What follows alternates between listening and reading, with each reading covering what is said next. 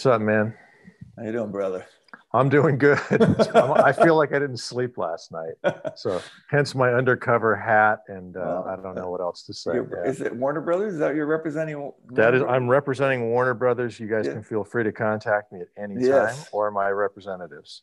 Um, good. You know, it's that my, easy. That's all you have in, to do. In my early days of pretending to be a producer, I had an office at Warner Brothers for a couple of years. You know, so I remember that pretending to be a producer. Well, you were one. Well, and, and until I really you do, are one. You, know, you fake it till you make it, right? I was I, I faking it. Eventually, figured out what to do. But uh, yeah, it helped being on the lot, and I love that lot. It's a they've got a tricky situation right now with having to. Um, there, I think they announced every one of their features is going to be released simultaneously on uh, HBO, HBO Max. Max. Yeah, so a lot of very upset people. Yeah, yeah. Uh, it's a strange new uh, business with all this streaming and all this being released right away. And whoever's listening to this that doesn't know, a lot of movie stars and directors and producers, et cetera, not maybe not the producers so much, but the stars and uh, some directors have back end participation. Yeah. And if everything gets released at once, that really pretty much destroys that entire um, money making opportunity. Yep. Um, so yeah, it's it's weird. It's a weird time. I don't know why they did it. Uh, I do, but I don't. You know, I can't speak to it. But yeah, man. Um, you know, nobody gives you a, a playbook to teach you how to, you know, be a producer or a director or an actor. You know, you can go to acting class all day long, but that right. really doesn't make you a great actor. You know, that's true. It's true and true. it's the same with the producing. Yeah, yeah, and and it's one of those things of where um, act a lot of the acting classes don't facilitate what is actually asked of you on the job you know? Mm, uh, true. so so you know there's this idea sometimes and it, actually and it goes a lot into um, the dynamic of the teacher and the student. I mean uh, we can certainly uh, relate both from our experience. There's there's a huge difference between mentoring someone and then what I would call the kind of guru devotee relationship, of which interesting I would I would say is potentially and quite often very toxic and destructive. Because if I if I look at those two things, I would say the mentor is generally older, and I think that happens a lot with the guru devotee thing as well. So it's the older person looking at the younger person and seeing in some way maybe that they remind them of themselves in some way or or that um, you know how they were at that age in the in whatever field they're they're talking about. And they feel an incentive to um, maybe guide them through some of the minds that they experience that they that this person might be benefit to know ahead of time that they might they might hit. And so it's this type of thing of where you, I think the mentor can see the mentee as someone who they want to, in, in a way, not only remind themselves of themselves, but they could actually go on to do greater things. It's kind of like if you knew what I, if, if I knew what I knew at that age, I could do greater things. And now that I see you at that age and I can maybe impart some of that stuff, maybe I'd love to go see what you could go do. And it's this type of thing of helping on some level that person re, uh, realize their own potential and you're there to encourage them. And it's very much of the type of thing of I'm going to help you build your wings so you can maybe fly to places that never I was ever to fly to, but uh, but I didn't have a mentor, and maybe that would and, and I think that's what whereas the guru devotee thing is this type of thing of oh I see you had the potential and and if you had the wings you could do extraordinary things, but I hold the wings, and you know if right. you follow my training and do a thing, then I might lend you the wings at times, but I will have to watch you because it's very dangerous. You have to be careful. But you know, but all because I've got your best interest in mind, I will watch out for you, and then you'll be able to do great things. But just remember, I got the wings, and without me, you can't fly. And that's a big problem. huge. Well, yeah, it's a huge problem. Yeah. We know a little bit about that. Um, did you always wish on that note? I never talked to you about this. We've never talked about it for me, I always wished I would be able to find someone who could be my mentor in this business, whether it was an actor. but actually, as an actor, right away, I knew that was almost going to be impossible, just because, right? Yeah, right. The way yeah. actors get, Yeah, they, they don't know how hard. come they got lucky and they got a break and they're working or they're a star or they're an award winner. They just don't know. Yeah. You know, and they're afraid if they tell you something that it's going to kind of like, uh, I don't know, diminish their brand or you're going to take a job away from them, even if you are, you know, uh, a 50 something year old white guy, uh, Yeah. you know, and they're, uh, you know, a 97 year old black woman or something. Yeah. Right? Ha ha. But yeah, it was always tough. But I always wished I could find someone to show me the way, but it's, it's difficult. It is and difficult. it does end up getting Yeah. into what you talked about. It ends up being a really weird, um, it's an abusive relationship. It can't. yeah, be I mean, really I, I mean. I, I I think the discussion lends itself to power dynamics, right? Like, and, and how totally. and how those can become something potentially constructive or very destructive. Um, because I think when someone is in a position of perceived power and then does everything to work against that to you know deflate any kind of intimidation or or fear around like oh we can't talk as peers um, then it's a really really you know uh, positive relationship. But if someone's kind of on that that kind of perch and then feels they have to look down and be treated a certain way that's that's really really problematic. Because i mean i i can remember um uh, who was the guy, the the Scientology guy who was the uh, acting coach, but it like he, he had uh, these classes. where- Katselas, Milton yeah, Milton Katselas, Yeah. yeah. And the Beverly Hills that, Playhouse. Like, like he would he would walk in, everyone would have to stand and, and treat him with this reverence, and it's like like dude, what? You're, you're an acting coach. Like I mean, but but that you know that that does happen, and um, you know I you know I actually coach actors at times, and I've got other friends of mine from acting class who've coached actors, and I think I think that's a really interesting dynamic when you have the position of a working actor coaching people who are trying to become working actors because I think you I think that's a that's a very valuable perspective. Again, it depends on these power dynamics, but I think people who are actually on the job and can tell you what it what's involved in actually getting the job and what's expected on the set and kind of the whole picture are are incredibly valuable. Whereas a lot of these acting coaches really were never working actors, really haven't been on sets and really don't understand. And Hundred percent agree with you. you know so it, it creates some really codependent unhealthy relationships and um and and henceforth because because there's not really any set system like you said how do you become an actor you know how do you do do it well there's there's no and there's and there's no real um accreditation system you know where you get vetted from a certain point of view it's all kind of word of mouth um yeah it's problematic i mean it's really really problematic you know it's, It's an art fraught form. with So It you know, is. It's like, it's It like how do how do you kind of put it in a bottle or put it in a formula? I don't think you can. I don't think you can either. You know, I remember one time you just making me laugh.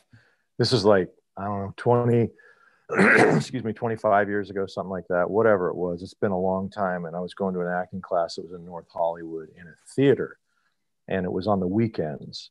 And it was like an all day thing on Saturday and Sunday. And it would run for a month. Any day, we're, uh, at any rate, there was a break or it was a lunch break and I was in front of the theater in the lobby, and there were several actors up there talking and you know whatever BSing or they're on their phone or you know, and this young guy comes in and he's from somewhere in the Middle East. I don't know. I, I, I want to say it was uh, Pakistan, I think. And he comes in and he goes, you know, is this the place? Really thick accent. You know, is this the place where I come for acting?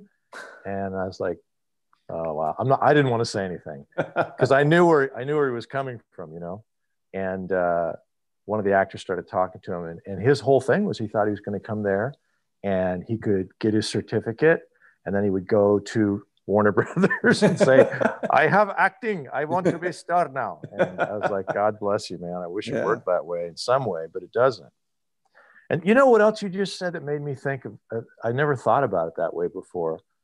Uh, I, I really like you said that you brought this up this whole power dynamic and Mhm. mentoring you know, given that we were both in that crazy cult together, yeah. um, you know, we're both very hyper vigilant and aware to that. I won't say sensitive to it, but fine, we're hypersensitive to it, you know. Right. And I noticed that power dynamic right away. I always notice power dynamics. And, you know, so many times you hear these stories of people, you know, like Harvey Weinstein raping women for years and no one says anything, or Louis C.K. getting women in positions where they're vulnerable when they're looking yeah. for power yeah. and then starts to expose himself and jerk off. And um, so, like, those are the extreme, horrible criminal side of it.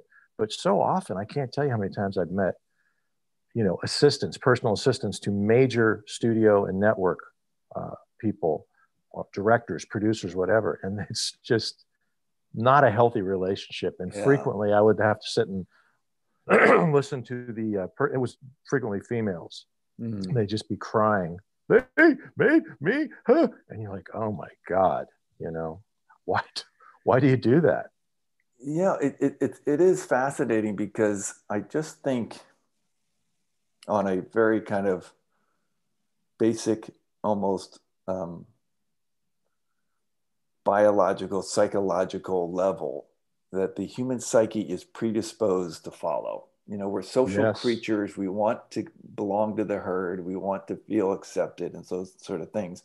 And I, I think if you're not conscious of that, and I don't think most of us are, because you don't really think about it. And it's kind of just socially accepted behavior uh, on so many levels that there's not a lot of contemplation about it or self-reflection um, or, or, or recognition of the fact that we have these patterns and we have these kind of cycles we fall into. And I think um, the effort it takes to not only accept that predisposition, but then choose to try to become self empowered and, and become a leader in your own life takes a hell of a lot of effort and, and fortitude.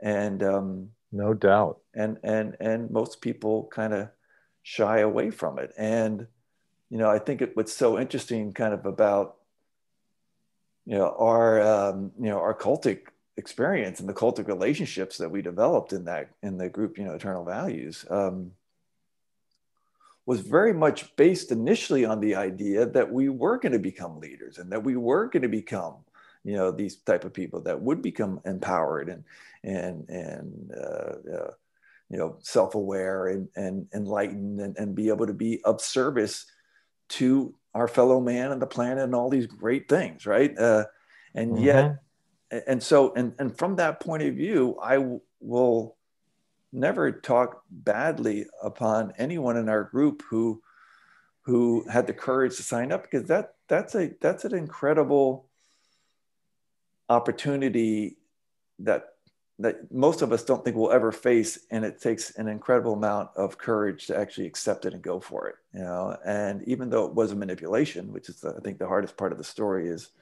to recognize um, you know that you've been duped. I mean i, I love what the you know, people will say you know it's, it's very very easy to get conned and it's very very um, difficult for someone to admit they've been conned. Oof. that's that's where the rubber that's where the rubber meets the road because we we get manipulated really really easily and we end up in crazy situations. But the only way out and the only way to heal is to admit what happened. And and it doesn't make you any lesser than because we're all it's happened to all of us all the time. But there's this to a greater of, lesser degree. You're absolutely right man. so there's yeah. this in, this instilled fear of being transparent and being honest and taking ownership of that journey of, of getting manipulated a lot or getting conned or getting duped. I mean, it just, it, it's, un, it's unfortunately part of the human experience, but it's also a valuable one if you choose to accept and deal with it and take ownership of it. And I think that's where a lot of us struggle. And I certainly know for, you know, like two decades in the cult, um, that I was my own worst enemy. I mean, when people would approach me, if anyone had the like, like first of all, things start, things started fairly kind of um, convoluted in a wonderful new agey way. Like it was all idealistic and all kind of it all seemed pretty good. But then along the way, you start getting you know the the kind of the the paint starts chipping off the facade and, and you start seeing cracks and and then things flat out got weird and culty and really strange at some point. So even when I was starting to go through that journey, and someone might have the courage to say, because I might be saying something to them, you know, and they're not, and and, and they're and they're they're like, Sorry. it sounds kind of culty. You think it might be a cult? I'd be like, fuck you, man. You think I'd get involved with a cult? How can you even say that? Why would you say that word? And and and and, and I am basing that purely my number one rationale of credibility of why it's not a cult is because I am in the group and I've convinced myself out of sheer arrogance based on total ignorance that if I'm in the group, it can't be cult. and I've got this idea of who gets in cults, and it's not me. So the fact that I'm in the group, so I'm cool. Yeah, can't be a cult. You know, it's can't be simple. a cult. So. But, it's called that, self-referencing 101. Yeah. So I, am a master just, at it too. yeah. I, I, just I just think we become our own worst enemy that way. And and um and, and you and I have have have seen this in in some of our compatriots who are in the group who have a very hard time accepting or admitting that there were some really, really nasty, abusive things going on. There's, yes. there's still this desire to sugarcoat things and and and censor and um, revise history to maintain this concept that oh it was just it was just a um, another stepping stone on my path to spiritual awakening of some sort you know which listen on some level yeah on some true. level it is that yeah. that's true right but right. but on another level there's some really fucked up abusive crazy shit that went down and if you can't just call a spade a spade, I don't think you're doing anyone any benefit, and certainly yourself. Um, now, not everyone is going to choose the path like you or I to want to talk about it. And you know, I certainly would.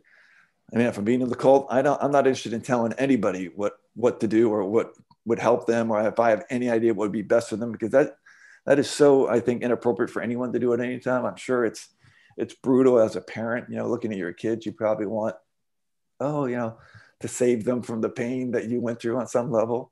But the pain you went through is what built the person who you are. So, are, are you really contributing to your child's growth to have them avoid the thing that actually helped build the character that you are? I mean, it's it's a tricky situation. I've never been a parent. I don't.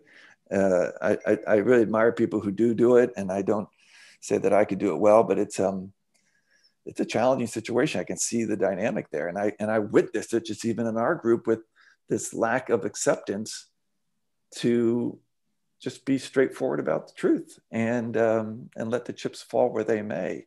Uh, mm-hmm. and, that's, and, and that's again going back to those power dynamics. You know the the the idea that we bought into again, like I said, I feel so um, impressed by any one of us who signed up for that. You know, because it was a great idea. Now, what it actually was is something very, very different. And, oh, yeah. and, and, and to swallow the pill, the medicine, to go back and say, from that first moment when I met the guy, Freddie, the guru, the, you know, the cult leader, whatever way you want to label him, um, the Messiah, as some might. um, the um, walk-in, the Arcturian. Yeah, exactly. Uh, on some level, that's when the manipulation and the coercion was beginning. And, and I won't even necessarily give him the credit to, you know, and I mean, Freddie, that, that he knew what he was doing, because I just think his coping mechanisms had become so pathological that I don't know if he was even aware of just how his coping mechanisms were so destructive and diabolical to others. I'd agree with that. You know, there was such a need yeah. for attention and, and he had been so wounded and you know, and, and, and quite honestly, I don't have to know, you know, uh, and, and I think, you know, uh, and this is kind of an interesting segue into um, some of the things that are being put out there right now, as far as on this subject matter of mm-hmm. cult, cultic groups and those type of things of, um, I think, and I'm so grateful for this, that, that, that the filmmakers are starting to learn there's a great benefit to keep the cult leader in their actual position in the story, which is the antagonist, don't make them the protagonist. Like don't don't make them the focus of your story because how relatable let's hope not many are, are many viewers going to be to someone who is basically a narcissistic sociopath.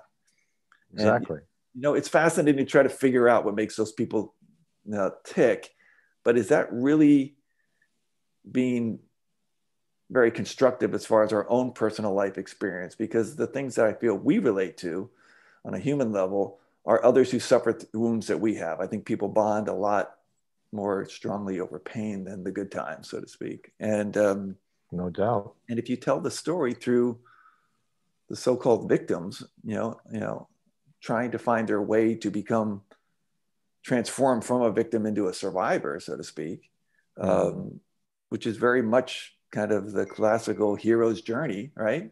Um, I think you know, I think that's really a powerful storytelling because now most people can relate to being in these power dynamic, you know, relationships where you've given away your power to someone else and you've really suffered and been abused and been controlled and been manipulated and coerced to do things or say things that you never thought you'd ever do or say. And uh, and that's a very very powerful relatable story. Um, and the only thing I'll add to that is the component I feel that gets missed, and something that I know you and I have talked about, Dar, the most important component to the story, and and and if we and I referenced earlier the hero's journey, uh, is the the hero at some point experiences all these trials and tribulations and comes to some awakening. You know, there's a, a point of transformation. But the the third act is taking that new found perspective or the lessons learned or as they like to call it the elixir you know this this thing that you've gained from the journey and and take and you take it back to um, the uh, the people and and to your community and you share and tell this tale, tale. And and that is a way to describe the recovery process. You know you take ownership of your story you tell it with the best means possible and you try to foster conversations so everyone learns. And um, and it's not about saving people or helping people per se because because people really help and save themselves. But the way they do that is by getting information. So if you can get them information or, or maybe package something in a way that that, that is more user friendly or, or more um, a new twist on, on on how things can be looked at, then that could be, you know potentially provide them with information that they can self-reflect on and maybe make healthier choices in their life based on that new perspective. And I think that's something really awesome. And I and I find a lot of the, the, the stories we've seen in the media, they've started to make the shift to start to tell it from the victim's point of view, but they really haven't captured that recovery side. You know, it's the type of thing of this, the show kind of ends with, well, we got the bad guy or the bad, you know, the cult leader, he right. died, or it's, I mean, it's over with. But it's it's not really capturing like the critical part of the tale, which is, um, I might have said this in our other podcast, but as, as tough as the cult life, cult group dynamic, whole cult, you know, day in, day out experiences, I mean, it's a pretty rough, shitty um, abusive, agonizing uh, experience. But from a certain point of view, pretty simple because there are rules, and granted, they're changing all the time, which is part of the manipulation, but there are set rules that you're constantly trying to follow. And it's pretty basic. Like either you follow the rules and you're you can move up the food chain and be kind of acknowledged and admired, uh, or you don't and you're in trouble and you're getting punished like a motherfucker. So right. um, it's it's very much this black and white thing, you know. Uh, and uh, and and I certainly have learned that life is really about shades of gray, but in that cultic environment, that is it's very black and white. And mm-hmm. so coming out of that, as horrific as it is to get, a, you know, and so and how great it is to get away from it, the real challenge, and I would say the harder part of the journey, is now trying to not only make sense of what happened and beginning with how did I even get involved with this, which of course everyone wants to ask, right? Yeah, right. And, and you got to answer that for yourself first, right? And true. And, and that and, and that was one of the key components of you and I connecting because um, I, I think, quite honestly, I, I can I can I'll, I'll probably go to my grave saying if if we had not connected at that time, I I cringe to think where where I would be today, and if if I would have had any real success in figuring things out, you know. Um, so my brother, that is very, interesting. Very man. grateful Thank for that. You.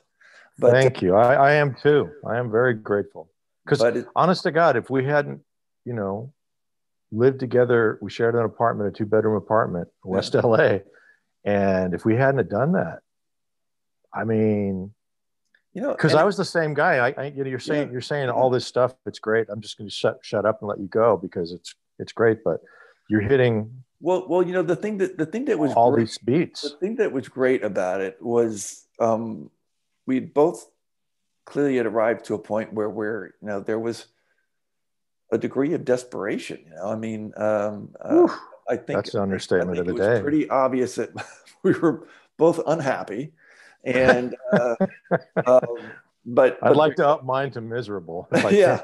well, yeah, but misery loves company, right? And and, wow. and, and so there there was some some again here people bond over pain, right? So there was yeah. some kinship of just knowing at least you and I knew the players, and at least if we wanted to, we could be heard in a very different light than you or I trying to tell someone else about what happened, right? That's right. So so that was a that was such a special sauce, and and I can uh, you know, and I thought about this a lot, and and and I love the way we just entered into it very gingerly of just trying to de starting to deconstruct some stuff of like, hey, Yitar, do you remember when um when when when that time when this and this happened? You're like, yeah. I'm like, it's kind of weird, right? You're like, yeah what do you think was going on there? And we would talk about it, right? And and for the first and, time ever, by the way, for the first time in 20 years, we had the freedom and the space was was created where we could talk about it. Which, right. like, as we sit here and talk about this, like, really, how fucked up were you guys? We were that fucked up. Yeah, that's no, exactly no, how fucked no, up. That's we that's exactly right. And and and and and even at that point, you know, I was still caught up in the idea that I was the bad one, you know, and that I had somehow failed or was lesser than. I had not measured up. I couldn't fulfill the task that was at hand. And I so think there, I would have, like, I was trying to convince you that I might have failed even bigger. I don't know. It was like a con- yeah. Well, we, no, we're I, both I, in that. No, I, I think. It, I mean, no, we we had those conversations because, oh, yeah. um, uh, you know, you know, just, just like from chips in the game, it's like you had left twice. I'd only left once. You know, it's like you know, you, you know, it's like uh, you know, we, we could go tick for tack on certain things, and, but uh, I actually got kicked out the first time. To a, a, a, girlfriend of mine says, "Who the fuck gets kicked out of a cult?" And I just me. Yeah. Uh, but yeah, yeah. Well, yeah. well, it, it, and and it's interesting because there, there's only three ways you get out of a cult. You know, either you leave, either someone pulls you out, you know, or you get kicked out. And I would say either of those last two is probably the rougher of the rides, and I would say probably the most intense one mm-hmm. is getting kicked out you know because uh, i don't know about that. Kick well kicked out was brutal but but you're right. You know it's either you get kicked out you get extracted or you have right. to you said leave. I mean you're being very nice. It's you have to like you did you yeah, escaped, under cover of I night. escaped, yeah. Yeah. I escaped. Yeah. i had to do it I, I didn't have the luxury of or at least i didn't think i did of under cover of night. So i put yeah. my thinking cap on and i was like how do i make these guys think that this is their idea that i get out of dodge? Which is brilliant which is well brilliant thank you, but I mean, no, but but but I tell you, and that and I think what's what's what's uh. amazing about that is recognizing that when we're in dire situations, situations we would never imagine we find ourselves, and it mm-hmm. it uh, it appears hopeless. Of course, mm-hmm. there's always room for hope, and that you know this is where uh, not to get esoteric, but this is where like the, the, the tiny kind of human spirit finds some way, and it may be, you know, in retrospect, convoluted and, and ludicrous on some level, but it's some sort of psychological angle that that you can figure out that you can spend it in such a way where you it's okay for you to do this thing that you need to leave. Like i thought i was doing the group a favor by leaving. I, I was cutting oh really? Oh yeah. I was cutting out the dead weight and the oh, hopeless, yes. hopeless cause that was holding them back you know they were having to spend all these hours and i mean hours and days you know reprimanding me because i was just so out of control and resistant and resentful that uh, it had it had dawned in my mind at that time that that uh, I was unfixable, and yet because I had empowered them as being the true seekers, that they were never going to stop trying. But I knew in my heart of hearts it was a, a lost cause, and the greatest benefit I could do it would be to extract and re- relieve them of that dead weight, so they could spend their time doing something much more constructive than dealing with a loser like me. So that was how I rationalized um, being able to uh, to leave. And uh, I mean, I wish you know people ask is like you know, I wish that I was able to uh, just come up you know and tell you. And when I woke up in the middle of the night and went, oh, you know, I think I'm in a cult.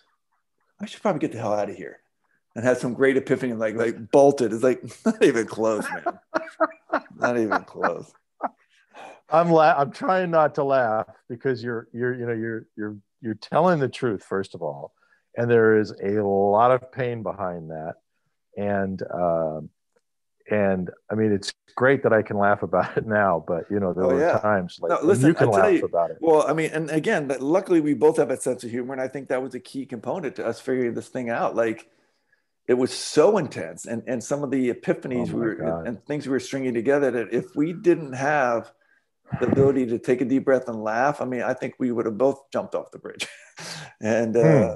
And um, and so I, that's a key component to the healing process. You said a mouthful, man. You know, it, it it's um, you know there've been a lot of these cult uh, documentaries popping up on on TV, Netflix, and and uh, Amazon Prime, and, and I think and, Hulu and had one. HBO did one, The Vow. And, HBO, yeah. correct, right? The Vow, right, with the guy that the the NXIVM, right? That guy just out of his mind. Um, but they always want to get into the salacious part, which is what I always always push back to you. I was like, dude, do you really want to talk about this? Because yeah. they're going to call you cult baby forever. And you said, no, I got to talk about it. And um, I'm like, well, all they're going to want to know is like sex, drugs, and rock and roll. Yeah, of course. And then the re- and it's like, okay, yeah, there is sex, drugs, and rock and roll. There's no question. Because like, how are you going to keep someone's attention? But then after that, and that's those are fleeting little pops of of of you know, on on the timeline. The, the the slog of it is what you're talking about, which is recovery. And look, man, nobody wants like the whole system, our whole society, our whole world, no matter where you are listening to this, it's not set up for us to be introspective, like like Hoyt was just saying, and to go back and reevaluate your belief system and what is your value systems and are you living in accordance with those, you know, or are you getting manipulated by someone else for their gain and your detriment or uh, I mean, maybe it's not quite detriment, but you're not even in the equation. You're just a chess piece, a pawn to them. And so no one wants to talk about it, no one wants to think about it. And you and I have always been like, well, yeah, but you know, honest to God, man, the real story and the and the true humanity is like it's in there. Yeah, I, I mean, the, the, the, truth is, recovery is not sexy. No, uh, you know, it, it's it's it's a lot of hard work, but it, it's it's you know these cultic relationships, um, and I and I and I I think we might have talked about it in our our first talk, but um, they're universal. It's a universal experience, and the sure is. cult, you know, which is more uh, you know adds in this group dynamic, as we were talking about the power dynamics that go on, but you know it takes it's it's an extreme version of it. But the truth is we are all experiencing cultic relationships but we are not necessarily recognizing or understanding the accurate nomenclature to know that's actually the clinical appropriate term for the relationship you've had. And, and it's this kind of relationship of where you've in essence, you know, given your power away because because you're seeking approval or, or love from a person or, or uh, accommodation in some way, attention. And by giving away that power, the person takes advantage of it. It is in some way controlling and potentially abusing you. Right. And that is the cycle. That is exactly it. And, and it falls under the, the, the, the umbrella of codependence and those sort of things. But there's, there's a, um, there's a symbiotic thing that happens and it's and it's really that's what I was saying earlier you become your own worst enemy because because you don't recognize what's happening and and very often there is a bait and switch involved and what I mean by that in a lot of these type of cultic relationships the person we're drawn to in many ways is incredibly charismatic and charming and and can do some form of kind of compliments and adoration towards you, that's really intoxicating and kind of throws us all off balance, and we get kind of snowed by that. And um, and it's almost like a drug fix, like you want more of it, and that becomes this really dangerous dynamic that starts. Um, you start wanting this thing that's not actually real, but initially felt like it might have been and felt good. And you and you talk. You see it most commonly in you know love relationships where someone you know a guy meets a girl you know who just knocks his socks off or a, guy, a girl meets a guy who knocks her socks off and they're just in this bubble of love and whole thing and and then you check in with them a year or two down the, the line if they're still together and something really nasty is going on and they're still clinging to those early days when they were in where they just had these feelings that actually have been disproven over and over again over the time that's passed. And yet we cling on to those first moments because they seem so fantastical. And the, and the truth is a lot of times they aren't real. And, and that, and that's, and it's, again, it's our reluctance to accept that on some level we were duped. And no one's to blame for that other than ourselves. And quite honestly, you're not alone. So it's not a big admission, but that's where a lot of the resistance comes from, as if you're going to somehow look lesser than because you got duped by somebody. But I haven't met anyone in life who hasn't been duped in some way. So why it can't just be a, a common conversation and something we could all kind of encourage and empathize and, and empower each other because this is something we can all relate to. Yeah, yeah, hundred percent. You know, um, you man, you're you're you're you're breaking it down nicely. It's it's it's interesting, you know. It is. Um, it happens a lot more often than people think, and it's not always, you know, like ours was this started off being this, like I don't know. I say pseudo religious because it really wasn't. He just kind of took a mishmash of everything, but it doesn't have to be yeah. a religious cult.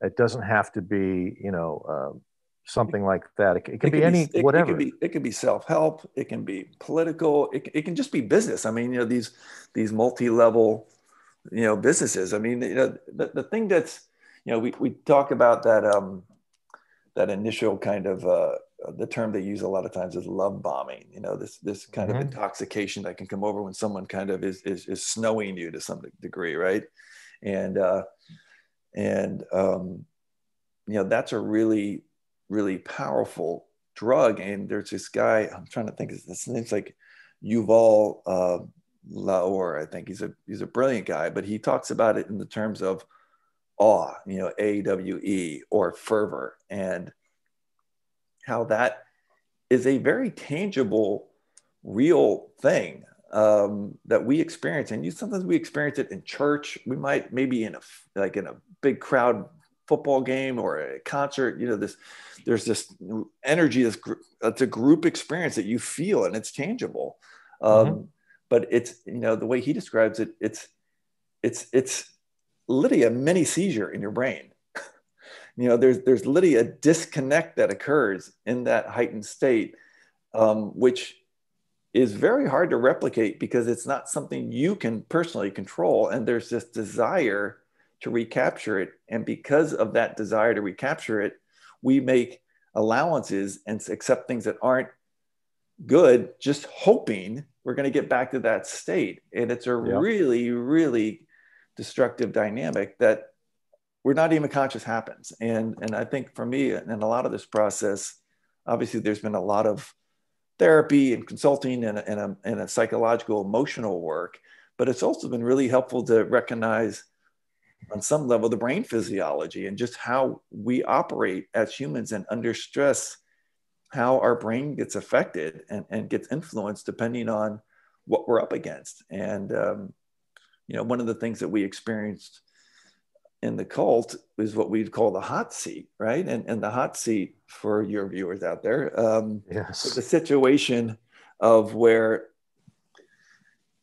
there would be a buildup to it normally that, that, that at some point someone in the group was um, determined by some of the higher ups because the group the group kind of works like a mob. So you kind of have the kingpin and there's a few higher ups. And so some of the people in the higher echelon have dictated that person a uh, is not representing the principles we're trying to live by on some level, as bogus as that sounds. But, uh, exactly. Uh, you know, th- but so there's this idea that this person's, um, in, in, in essence, misbehaving and they need to be corrected or whatever way you'd want to term it. So, but there's this first step of saying, you've seen this, right? And so that everyone's eyes as a group starts focusing on this person and their potential flaws, you know, and and looking for behavior. Certainly through that lens, through yeah, that lens. looking for behavior that supports that point of view, right? That point of view, right? And and classic like any, circular reasoning. like like anything, you can look, you can watch anyone under the microscope, and they're going to do plenty of things that you can criticize, you know.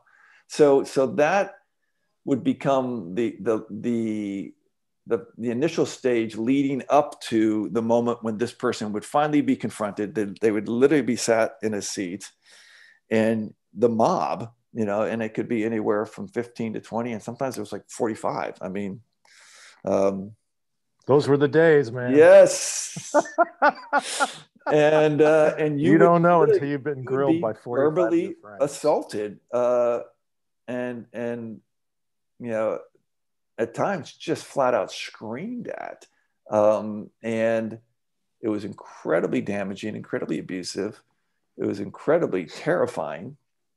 Um, now, the, the crazy thing about it, as awful as it sounds for the person who's on the hot seat, which is, and I can, you know, darn, I can both uh, uh vouch for it, is an awful place to be.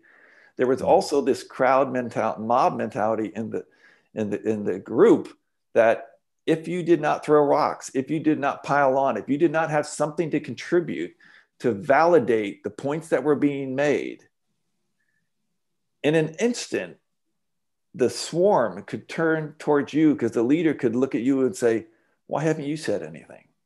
Exactly. And you'd be like, and he'd go, Because you're exactly the same.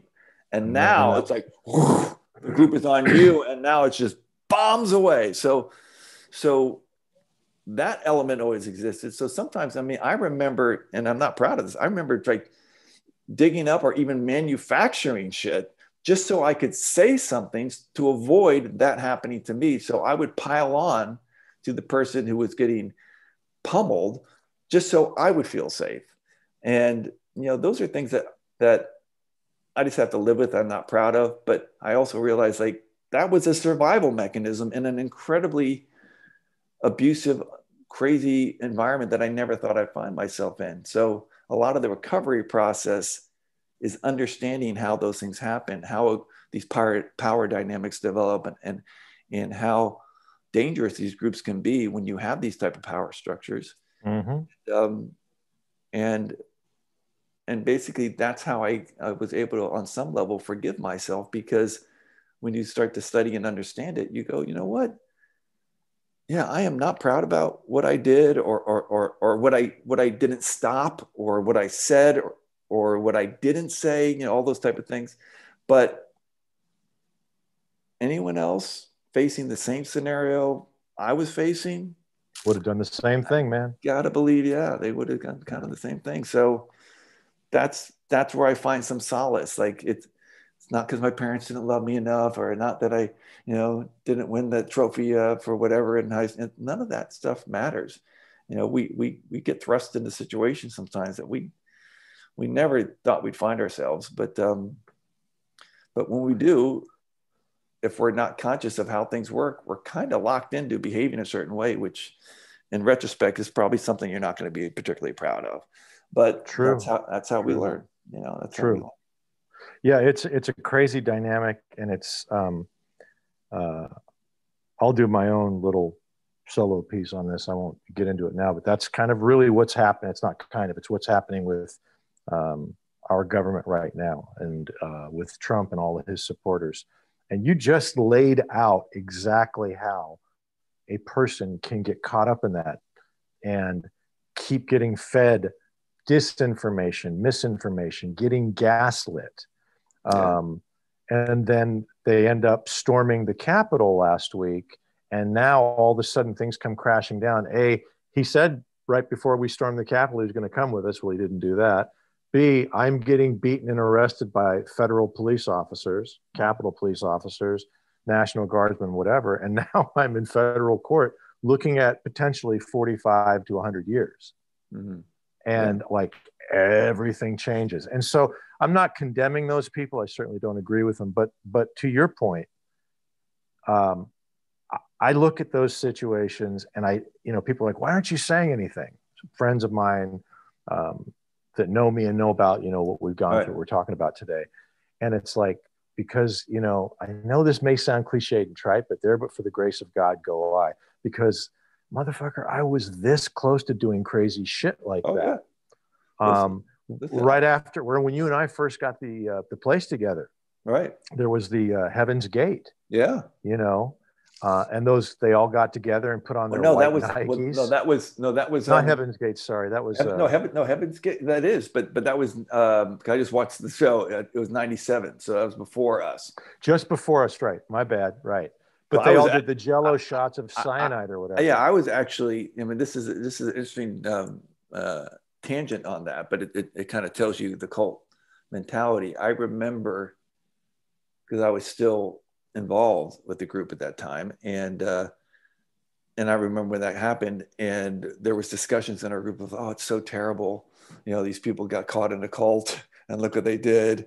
If they oh, really? If they'd only met people like us, they could have maybe been saved, and and so it's interesting that you're in a cult, but you can recognize other cults as cults and that they're dangerous, but they're not you. You're the truth, but they're the bad ones. And that there's that's, how caught you, you are. Just described re- humanity yeah. right there. Yeah, man. I mean, I mean, I remember, I remember when the Vanity Fair article came out, and this was in 1990. That basically there's a 15-page article that exposed our group as a cult, called it a cult, and um, and uh, made allegations of certain crazy behavior that was going on, which a lot of it was very true.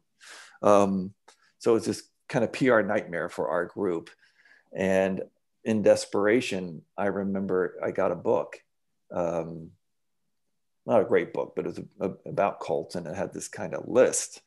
And so I'm going through the list of, of these kind of points that are in cults, and and um, where were you at the time? Were you in North Carolina, New York? No, I was in New job? York. I was still in New York at that time, and uh, okay.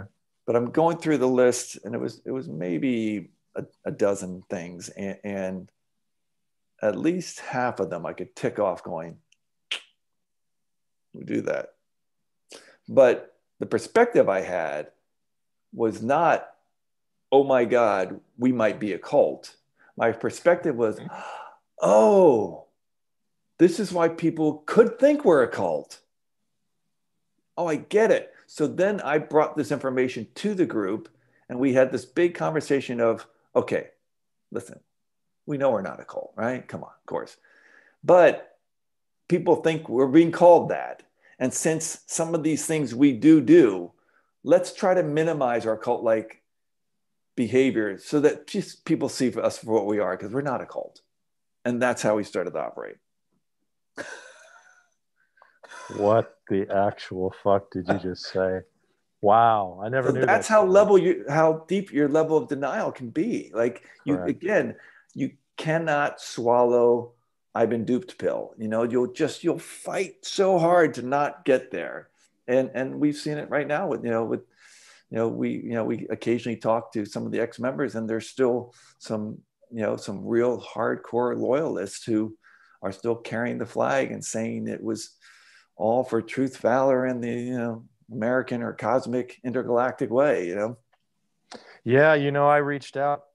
I yeah yeah. It's you know I always two things come to my mind. I always because of what you just said. I never heard that that story before, but you know I went I went through the same you know dynamics the in my mind. Uh, I never I always tell people never underestimate the power of denial or the stupidity of a mob or a group of people. An individual, like one on one, you and I, right. you're a sensitive, thoughtful, lovely, beautiful, sentient being. Put a group of those thoughtful, sentient, beautiful human beings together. And yeah. I'm telling you, all you have to do is just know exactly where the flashpoint is put a little bit of accelerant in a in a match, yeah, you know, yeah, and yeah. boom, people are doing things they can't imagine. So yeah, but and again, never that, underestimate that, that, That's that fervor thing. That's that, that fervor. Thing. Correct. that is that is that, and and you literally check out. It's like like I said, it, he gets it's like a mini seizure, and um, and it's it's it's really it's powerful, man. Yeah, I, yeah. I, I did what you did. I, I started, you know, you, you know, in the beginning you say you can't blame, like I don't blame my parents because you know I didn't get loved enough or I didn't win the trophies. There's a, there's there is that element, but after after you get past that and own that, talk about not wanting to own and admit you mm. you have any responsibility because that's really what we're getting at. What's yeah. my responsibility? Because no matter what happens to us in our lives, the one common denominator in each you of our there. lives. Yeah. Correct. so no matter where you go, there you are, right? There you are. Buckaroo, yeah. love that, man. Buckaroo Banzai, great. No matter where you go, there you are. So um, you can find yourself doing stupid shit. And then I found out through studying neuroscience uh, that, you know, the, the limbic system, you know, that deepest part of your brain that really hasn't evolved over the last few million years of us being a species you have three decisions that are made in a microsecond. And it's do I fight this or do I flee this? Do I kill this and eat this? Uh, or do I have sex with it? Mm-hmm. And that happens rapid fire. So, to your point, you know, if you get up in a mob thing and oh, lock her up, yeah, lock right. her, you lock her up, well, you can right. just cool because survival is our key, our number one thing. And that's where that's all born out of. And so if I don't have to think about that, just say lock her up. Or if I don't have to think about that and turn on you and go, yeah, Hoyt. And mm. furthermore, you mm. know, you part your hair on the wrong side, and that means you're a, you know, whatever, right. whatever right. retarded thing would come up. That's how that stuff happens. And it happens instantaneously. And so, like you said, life is shades of gray. In the cold, everything's black or white. Well, when you start to work your way back out of this, like we've been talking about, the recovery process, you realize nothing's black or white. Right, exactly. It's just not. I mean, and this is going to get a lot of people's, you know, upset. Okay, fine, but you know, think about this. It's not right or wrong, up or down. I mean, there it is. It is that. But really, if we look more closely at any situation, thing, place, relationship, event, there are so many layers of things going on. And yeah. You know, for me, when I realized all that, I was like, well, I need to increase my awareness. I didn't really think about it that way, but I started to meditate. And that right. helped me yeah. massively. You know, it's helped me massively. But um, yeah, man, things can go sideways really quickly.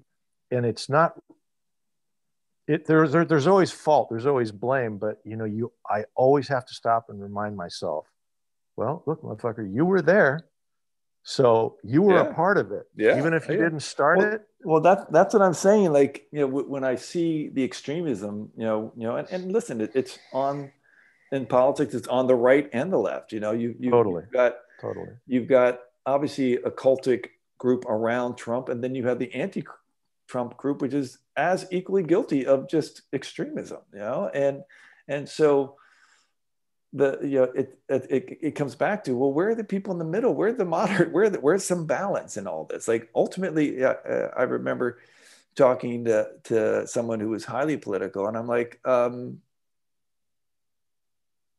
you know if we go to war they give guns to both democrats and republicans. Like at the end of the day we're all on the same side right? I mean and and, and i think people lose sight of that and and but the fervor comes from creating the enemy, right? I mean, that's that's the whole you know that's that's where the rubber meets the road. You got to have what because I, I, I think and this is one things where cults really succeed in um, pulling people in. I think we all want to feel so strongly about something in our life you know something within our that we feel are is our values that we'd be willing to die for yeah that's a very very powerful hook that if we feel we've arrived at that place, I think that that's when you start thinking to yourself, I really feel alive. Like I've got a moral compass, I've got some priorities, and um, which which I think you know is a great feeling if you if you arrive there. But if you've been manipulated into there, because the feeling's great, but if it's not actually your own making as far as that you right. know, the, you know if, if you're fighting for someone else's cause or someone else's dream and it's not really yours then you're in a really dangerous situation and that's where i think we kind of found ourselves like like we didn't create the the map that freddie von Mierers has created of how the world worked he created we bought in and then it became our cause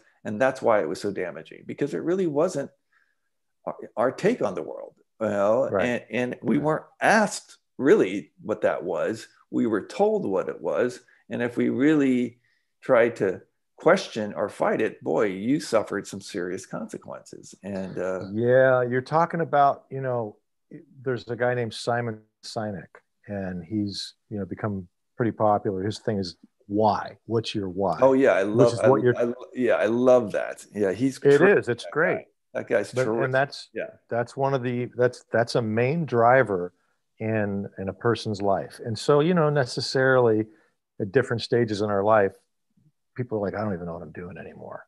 Yeah. That's a dangerous place to be right?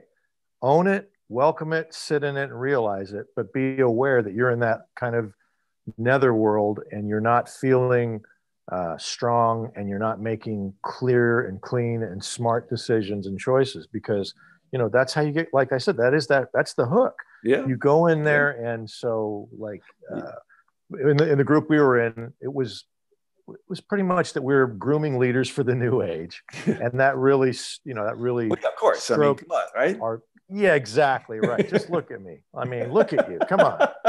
Yeah that's know. yeah that's where we should be. Jeez. but you know it strokes your ego in a way that you like when you're in your 20s and it you know these messages can be different. It's not you know calls don't just happen when you're young and in your 20s it can happen at any age.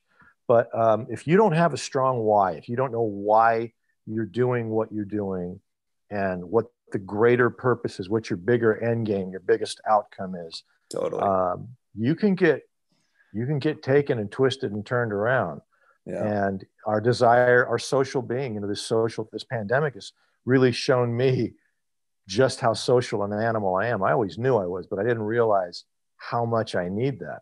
Yeah. And um, so our desire to fit in and be social, even if, you know, Freddie Meyer's wacky why yeah. makes no sense. But if I say something, I'm going to get lambasted in the chair, you know, slammed and screamed at for two, three hours from, you know, midnight till three or four in the morning. Absolutely. I'll just go along with the crowd. I'll yeah. just keep my head down and won't say anything so it's the line of least resistance, you know. And and then I think the other thing that you know you're talking about when, when we're at those points where we feel like we're a little lost and we're, we feel like you said maybe we're not making great decisions or, or we don't really have a game plan or, or you know we haven't discovered a passion or whatever those things that's where and listen that welcome to the human condition like that happens all of right us on. hopefully at some point you know uh, because it's an opportunity for growth right? There you go. Uh, and I think a lot of people call that, you know, maybe their seeker moment or a searching mode of some sort. Um, hey, can which, I interrupt real quick? Do you get called a seeker ever? Not commonly, no. But people uh, called you that though. I have. Oh yeah, yeah. I mean, I because oh, I, I I self-reference at that from the point of view of even like you just said from the why like why am i here? What am i supposed to do with my life?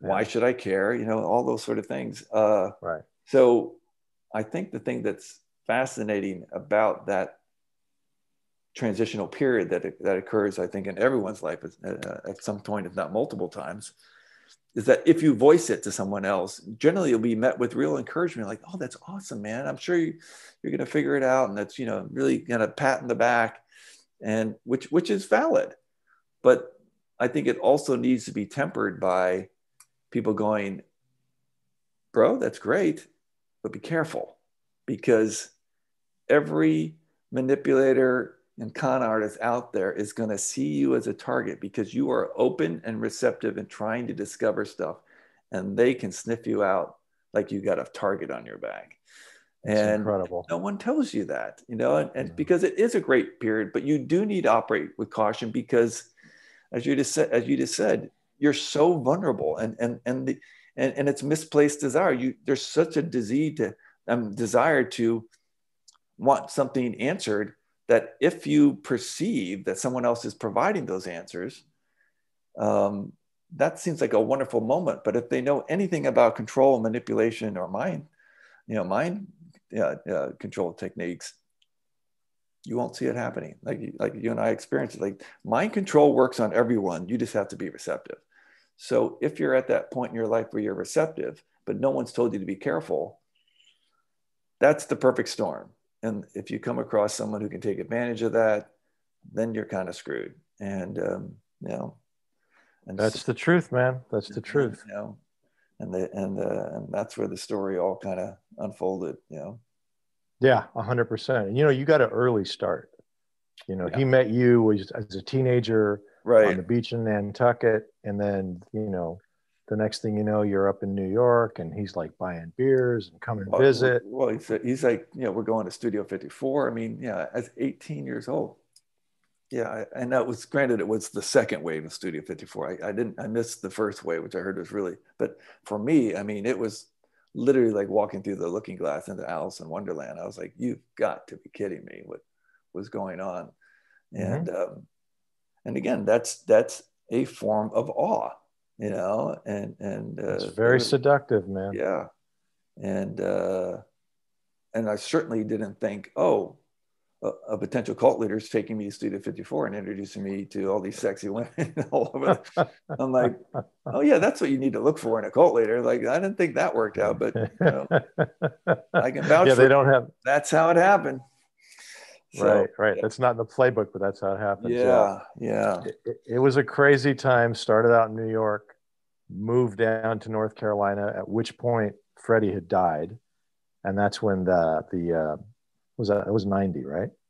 Yeah, Freddie and, died February of ninety. Yeah, of ninety, and then I think the the uh, Vanity Fair uh, article came out. Came out, came out five five days five days after he died yeah yeah it was it was unbelievable I, I still remember when i i just happened to walk into a 7-eleven and i saw there's freddie's picture in the bottom of corner of vanity fair it says you know alien cult from arcturus or something like that yeah yeah east side alien or something yeah something know. like that my head just went yeah. kaboom wow uh, yeah it's it, it's a uh, it's an interesting weird wild fascinating thing uh, and you know uh, you touched on this and I never thought in my wildest dreams I'd get there. But when I, you know, sitting here now, I'm so grateful to have gone through it. It was painful beyond belief, um, dangerous beyond belief.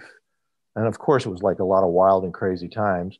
You and I still know each other out of this, which is no small feat. Yeah. Um, I'm just grateful for the whole thing because it's, you know, like you said, you and I have, tr- have, have tried to talk to people who were in that in the group in you know various stages um, over the past 20 years and some have been receptive to talk and admit that it's a cult more don't want to have that conversation and have varying degrees of you know complete shutting down or they screaming and yelling match with you mm. or uh, they start to gaslight you you know yeah and uh, you know you and i were talking this summer and I had this idea, just this idea ran through my head for um, a picture book um, from back in the day during those right. times.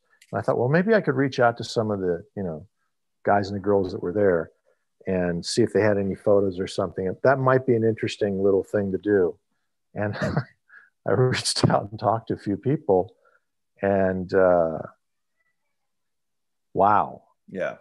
I don't. Yeah, I don't want to talk out of turn because you know they're not here to to rebut my my uh, my words or my my uh, impression, my memory of it. Um, but yeah, man, it. I, am laughing at it because parts of it are really funny, uh, but if I'm going to be honest, it's really it's sad. Yeah, it's no, it's tragic. It is. It's tragic. That, we, we, we, you know, we all got traumatized, and uh, you know, you and I have talked about it. I mean, trauma yep. does not go away, and uh, but if you deal with it, you can manage it really well, and it can actually be something that could be a wonderful reference point that could become really empowering and kind of yeah. direct us towards um, a hopefully avoiding anything like of that type of trauma coming coming again right b giving perspective and empathy towards others who are also been traumatized you know and recognizing that this is uh, also part of the human condition right and um, mm-hmm. so no one gets away with a free lunch but uh, it only begins to uh, heal if you own up to it and uh, and start talking about it which yeah. is you know in, in in a kind of a meta view here yeah. uh, i hope that some of the folks that were in the group with us get a chance to see this um, memory's a tricky thing mm-hmm. and uh, you know in court even in court eyewitness accounts are are, are not totally 100% credible just because the way the brain is yeah we sure. will remanufacture memories etc and so some people may be pushing back now. Well, you're making the whole damn thing up. Yeah. I wouldn't I wouldn't say that. You're throwing the baby out with the bathwater, but fair enough. But you know, you got to talk about these things. Yeah. And in talking about it, you are beginning the process of working your way through it, right? And uh, I, you know, there's no there's no other way through it, man.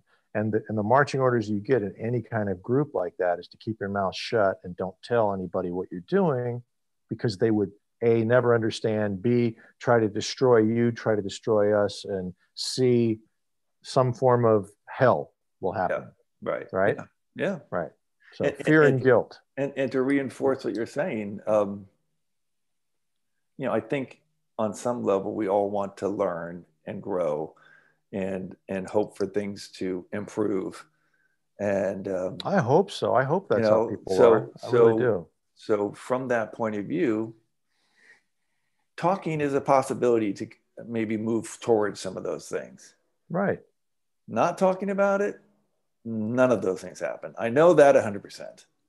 But talking about it, maybe you move towards some of those things. And I'll I'll take that shot than choosing to just bury it.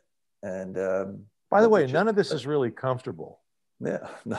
Like, right? Uh, no. I mean, even not. though you're sitting here yeah. talking about it and you're very, you know, cogent and all your top, yeah. your points are germane and you know you've obviously you know wa- worked through a lot of the issues i know you well enough to know you're not comfortable talking about this no no and and, and, and nor am i at all i mean there are like any number of things i'd rather be doing right now than talking about this shit but you know to our point to your point mm-hmm. it's that important to me and it's that important to you mm-hmm. uh, we mm-hmm. share that that yeah. uh, you, you you can't be quiet about this man yeah. you know that's how insurrections happen. That's how domestic abuse happens. That's how That's domestic right. violence happens. That's how sex trafficking happens. Mm. All these horrible, crazy. That's how racism is mm. perpetrated and, and, continues on. Sure. You know, xenophobia, misogyny, patriarchy. Yeah. Like, it's not cool. You know, for me, like you said, you know, the trauma doesn't go away. Um, of course not. You know, that's a part of, of, of the makeup of my life, of your life, of everybody, everybody's got trauma in their life to, to a greater or lesser degree. What I learned is that, you know, through, through all this meditation and, and, and working on myself and therapy, et cetera, is that, you know, we've all got this threshold for how much stress we can handle. And if you can raise that bar, you know, where, where it's down here, mm-hmm. you can raise that bar like, you know, out of frame, right? It's right. just so right. high. Well, then all those things that currently bother you, it's like yeah. a blip on the radar. Yeah. And you have a more objective way of looking at it, a healthier way of it, looking at it. You have greater awareness at it. And that's, you know, that's necessarily helpful. And um, the other thing that I realized was although I'm non-religious, which which is funny because you know that was kind of the, the hook. I had interest in religions, and I think you did too, because you've never struck me as a religious cat, and I wasn't raised no, that way. No, I you know my, the only thing at 13, my mother gave us the option of whether we could, could you know continue to go to Sunday school, and I'm like, because you know at that point I had the perspective and and this of course isn't fair because I really didn't study it, but uh, I think we were Methodist Presbyterian. But my takeaway was so we come in here every Sunday. Some guy lectures, they pass around a till. The slate's clean. I can do whatever I want. I just got to come back next Sunday. I'm like, I call bullshit. Sorry, I call bullshit. You know, and I just couldn't get into it.